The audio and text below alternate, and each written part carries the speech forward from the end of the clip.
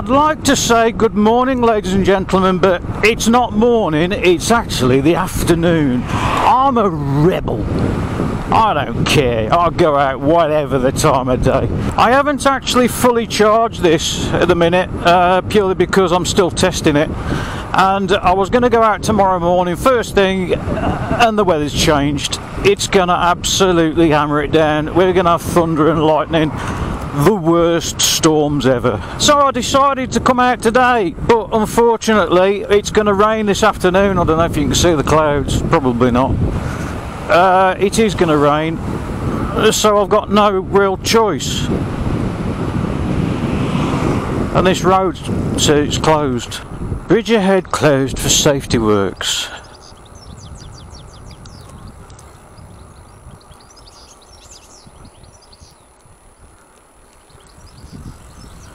There you go. Anybody, um, anybody who lives in Stafford who wants to know why the bloody is it Passage Road is closed? Uh, that's the reason. anyway, I'm out today testing because, as you know, I've rebuilt the whole battery again. Uh, I think I found the problem, which is uh, one of the uh, cell balance wires that's come loose. It's probably not come loose. It's probably just bloody the connector's knackered.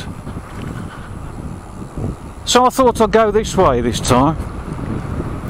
Get out of Stafford. I'm not showing you the bloody traffic in Stafford, it's horrible. Oh, look at that. Nothing on the road, just me. Nobody else to bother me at all. I want that house. Well, we've got no cutout yet which just seem uh, it just seemed good. I've had a few questions about this, as you know. Uh, most of them good. a lot of people don't like me anymore. I really couldn't couldn't give a shit. One of the main questions, I mean, as you know, if I open this up fully, is that Evode, or was it? Well, it was Evode where they make Evo-Stik, or they used to make Evo-Stik there. There's a crematorium around here as well, somewhere. Not the sort of place I like. Anyway, um,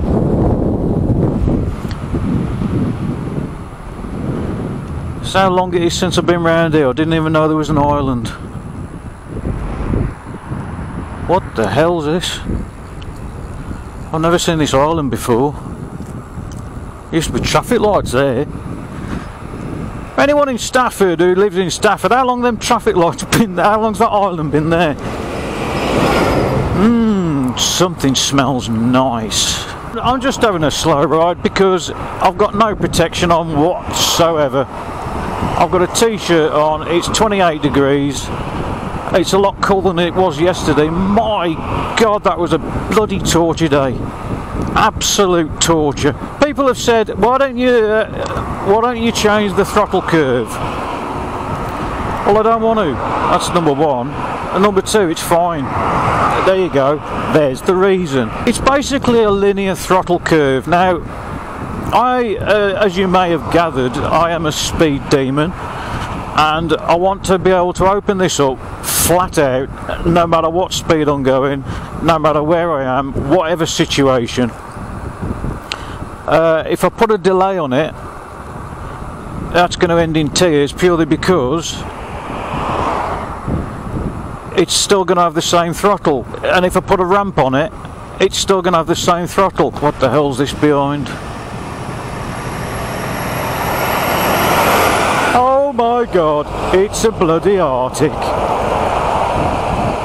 By default it's a linear throttle. It's a very courteous driver. Plenty of room. Thank you very much, sir. First time today, I like BMW drivers. Oh my Jesus! You bastard! I don't know what the hell that was, but it hit me. Throttle curve, yes, right. Linear throttle curve. So if I open the throttle halfway, I get half power. If I open the throttle all the way, I get full power. If I put a ramp on it, a timed ramp, of say three seconds and I open the throttle, in three seconds it'll be full throttle. Well that isn't very good. Although it's actually a gradual sort of a ramp, in three seconds I'll have full throttle. If I need to get out of trouble, I've got three seconds where it does absolutely bugger all really. Oh, you can smell cows. Is this another lorry? Oh my god, oh my god, I'm gonna die. Now this is a very steep bank, it's what's called Weston Bank. Now the idea of this is I'm testing the regen now and I'm going to see exactly how much that's 270 watts it's putting back in. I want to make sure that at the bottom of this hill it doesn't cut out.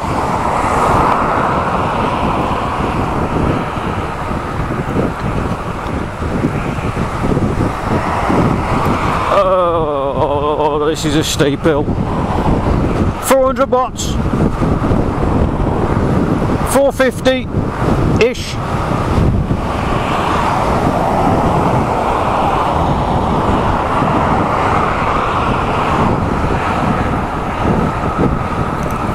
right. I've still got throttle. I fixed it. Nice I am. When I get to the end of here, I don't know where to go actually. When I get to the end of here, I'm going to turn around and go back up that hill. I've been meaning to say this for quite a while now, actually quite a few months. Um, I've uh, come to know this bloke who lives in South Africa, and I can't even say the name of the place, but it's Namibia. Namibia. Hey, I did it! Anyway, he lives in Namibia. Oh, bollocks. And Oh, here we go. Oh, yes. I've got to get the camera on here. Anyway, he lives in uh, he lives in uh, that place there. He is one of the nicest blokes so I've had the pleasure of knowing. Um, he's the one who's actually really he's managing the forum I'm not there all the time. I've got loads of things that I have to get done, loads of different things, and he just manages the forum for me. And I haven't asked him to do it. I've not asked him to do anything whatsoever. Charles bought a uh, a Fiat Uno that was converted, I think, in 2004, and he's trying to modernise it and bring it back to sort of health, I suppose. Um, it was electric one and he's trying to bring it back to health and, and, and you know do all the wiring and stuff like that. He's having an absolute nightmare. And in, in, in over there, they can't get the parts purely because it costs too much. The shipping, the import costs, and the shipping costs and everything else are just bloody ridiculous. So I've anyway, I've helped him out. Now I'm going to leave a link in the description to his YouTube channel because it is good. As everybody here likes to see, they like to see inside people's lives and they like to see how the other half live. Although I'm not the other half as such, I'm just that part.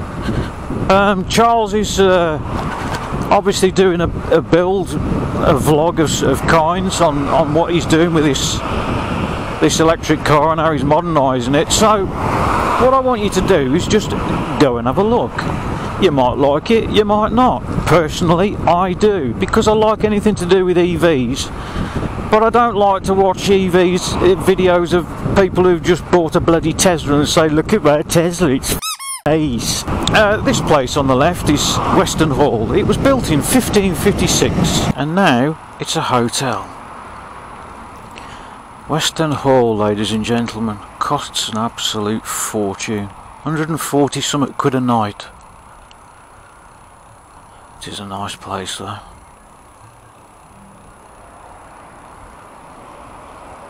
My mate Dave got married here. I stood on those steps. I got a photograph. oh yes, this this is my new house. Look at that.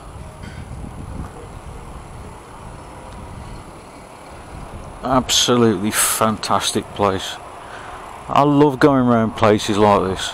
American people seem to love England and all the British, the monarchy and stuff like that. I mean, personally, I don't really care about it. Uh, I don't follow them. I don't have anything to do with them. I've never met them. If they invite me round for tea, I suppose I'll go round. Here's another expensive place. I'll go round the island. The Grange. So there's an old English house for you. Has it got a thatch roof? No. Weston Hall, ladies and gentlemen. What we're going to do now is go back up this hill, which is a very steep hill, and I don't know what's going to happen. I reckon about three, maybe four, maybe five kill. Oh, sorry, mate.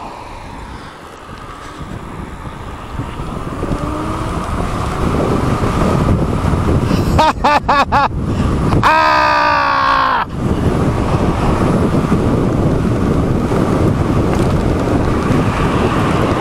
Look at that!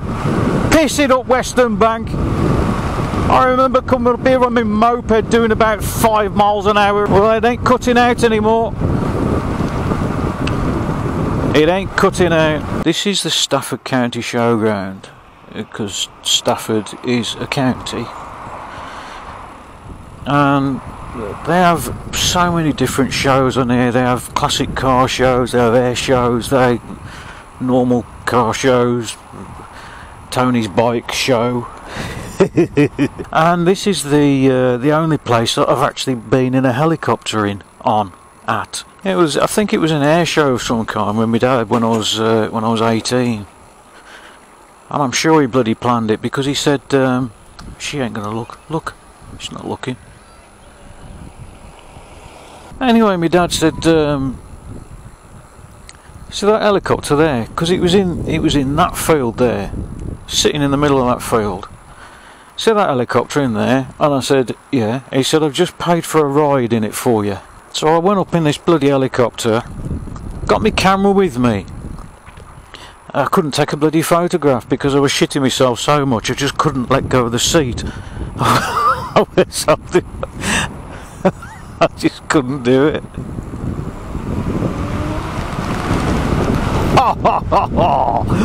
oh, yeah, I'm getting used to the throttle curve now. It was quite harsh to start with. Uh, now got used to it. It's fine. Everything's fine. It's lovely. I'm going to put my light on. So my headlight is on. There's cars coming, so I can't go. People misunderstood the reasoning why I put the fan in. The fan was purely there to cool the BMS down when I'm charging the balance resistors sort of side of it. It's not there to cool the battery down like it's not it's not even connected now. It's only there when I'm it's only there for when I'm charging.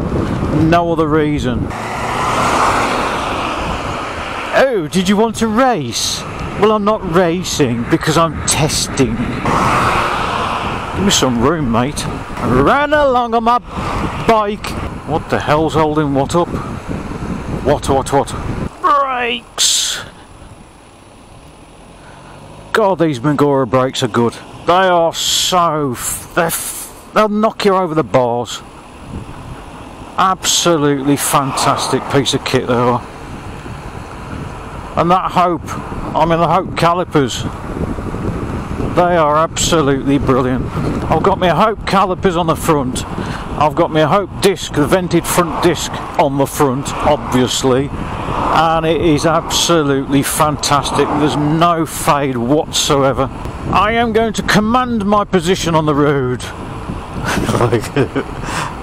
Shall I overtake him? Shall I? Shall I overtake him? Shall I? Shall I? Shall I do it? Shall I? What do you think? Oh, think of his how much of his ego would be damaged if I actually overtake him there. His penis would disappear back into his body. Uh, VBMS version uh, 2.11 is going to be released soon. Uh, with various improvements. Uh, obviously, it logs every single cell that you've got plugged in up to 24s. It doesn't go above 24s, and I know people have asked me. There's no iOS version. There never will be any iOS version. Uh, Apple put too many uh, restrictions in place for anybody, Mr. Average, to actually um, publish anything. Let's go. Let's go. Oh, fantastic. I'm in the middle of nowhere. I think I've got about six or seven miles to get back. And my voltage is running a bit low. In fact, it's the lowest it's ever been. And those clouds are looking, oh my god, they are looking bad.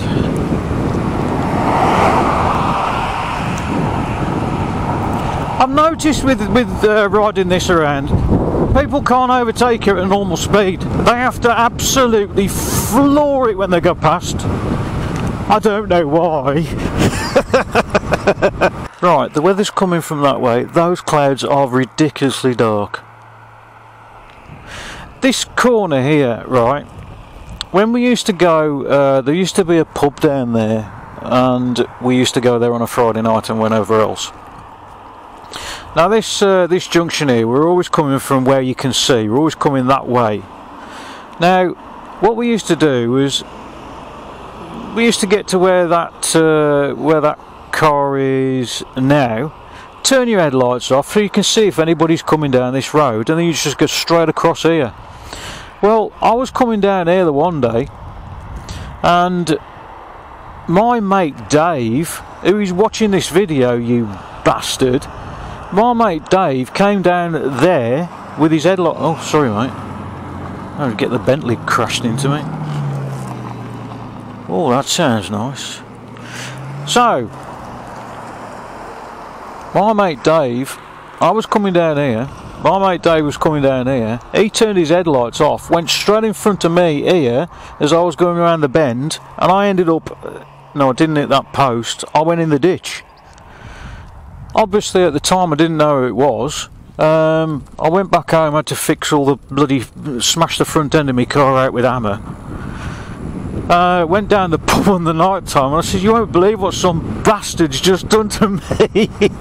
and it was him. Friends like that, who the bloody hell needs enemies, eh? I still speak to him. Don't like him though, he's a twat. I might go down the canal one day because uh, there's something called Tixall Wides which is just over onto my left. I'm not pointing my head over there because I'm trying to constipate. Uh, it's a very very wide part of the canal. When I were a lad and my dad used to build boats, um, I think he built three boats, but he built two speed boats and one canal boat to my knowledge and he's probably going to correct me on that. I don't know if he built any dinghies or something. Oh, whatever. So my dad built these boats, and in our summer holidays, we used to go down the canal. Best part of my life that was. I got so many memories of the canal.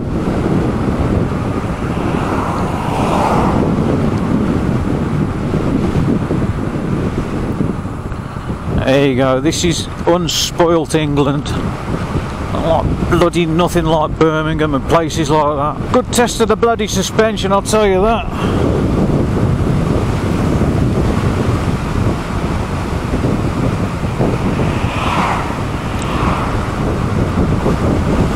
Got to soften this bloody suspension on the front. I, I firmed it up a bit.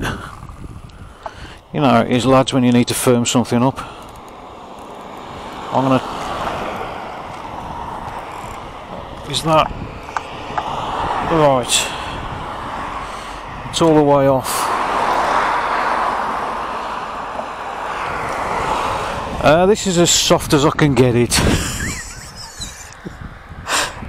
Why is it? I can't. I just can't have a normal conversation without it sounding rather suggestive. Let's see what the motor temperature's like while I'm here. That's not even warm. The disc is bloody hot, I can feel that. That's not even warm. Oh, for for for for.